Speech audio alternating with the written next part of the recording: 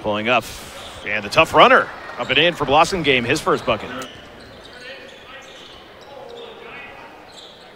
Oh, beautiful pass inside to Blossomgame. And finally, the rebound is finally with Mokoka. Quick pass up the floor. Nice pass, nice catch by Simon. Here's the drive in, and the bucket is good for Blossomgame, who has checked back in. That's his six point.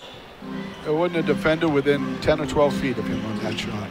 Here's Beecham from the outside. Blossomgame this time will hit the three. And oh, the drive in and the two handed flush for Jerome Blossomgame who got by his man. No, actually, they're going to say Tremont was in the act of shooting, I believe.